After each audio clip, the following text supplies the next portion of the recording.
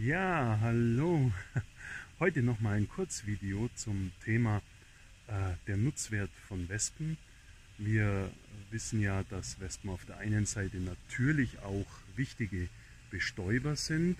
Ähm, Wespen sind auch Jäger, sie jagen Insekten und äh, dezimieren so große Populationen von Fliegen, Mücken, äh, von Bremsen, ähm, Forst- und Kulturpflanzen, schädliche Raupen und deren erwachsene Falter.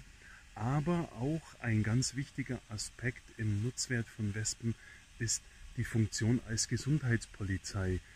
Ähm, denn Wespen vertilgen Aas.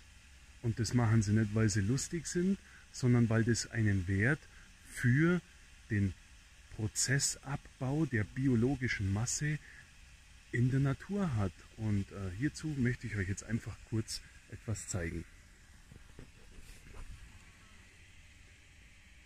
Eine Spitzmaus. Und hier nagen seit ein paar Stunden nagen die Wespen das Muskelfleisch heraus. Unter anderem sehen wir ja die Fliegen, die versuchen ihre Eier dort abzulegen.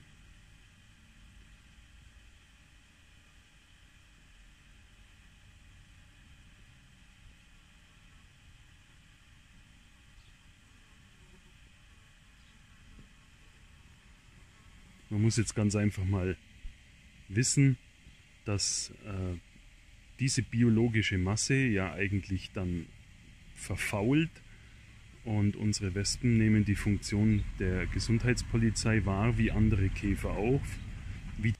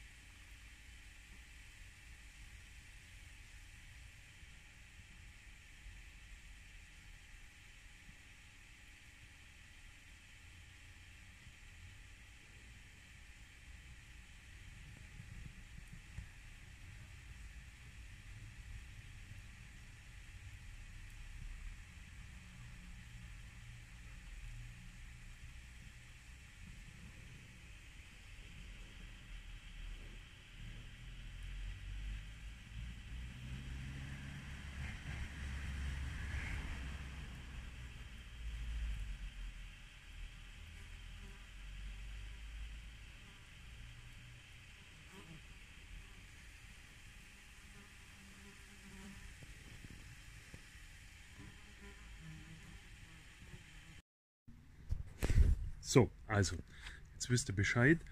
Ähm, diese Wespen sind also ganz wichtig für natürliche Abbauprozesse in unserer Natur. Und ähm, viele reden jetzt eben davon, weil die Wespen auf Aas rumsitzen oder bekrabbeln, dass sie jetzt zu Gesundheits- und Hygieneschädlingen wären, weil es könnten ja Bakterien anhaften, die dann später auch auf den Lebensmitteln sind. Dazu kann ich nur sagen, ey, haltet euch fest, das ist Quatsch. Warum? Denn jeder Lebensmittelhersteller ist eigentlich verpflichtet, sichere Lebensmittel herzustellen und in Umlauf zu bringen. Das bedeutet, die Wespe kann nicht schuld daran sein, dass wenn sie mit bakterienbehafteten Beinen einen Zwetschgendatschi beläuft, dass der Zwetschgendatschi irgendwann einmal nach zwei Wochen so viele Krankheitserreger drauf hat, die von der Wespe übertragen worden sind, die dann an einen potenziellen Käufer abgegeben wurden äh, und krank machen. Denn nichts anderes sind pathogene Keime, die brauchen Zeit und müssen erstmal noch pathogen sein, also krankmachend sein. Und alles andere ist einfach äh, irgendwie dahergezogen und Wespen-Schlechtmacherei. Entschuldigung, dass ich das jetzt so sage, aber da hat man sich vor 20, 30 Jahren einfach nur überhaupt keine Sorgen drüber gemacht, weil man andere Probleme hatte. Aber heutzutage muss man sich über so etwas tatsächlich auseinandersetzen und sagen, jetzt machen wir die Wespe einfach zum pauschalen Buhmann für alles. Ich wünsche euch was, euer Wespenberater, bleibt mir gewogen und freundlich und keine Angst vor Wespen. Haut's rein, ciao.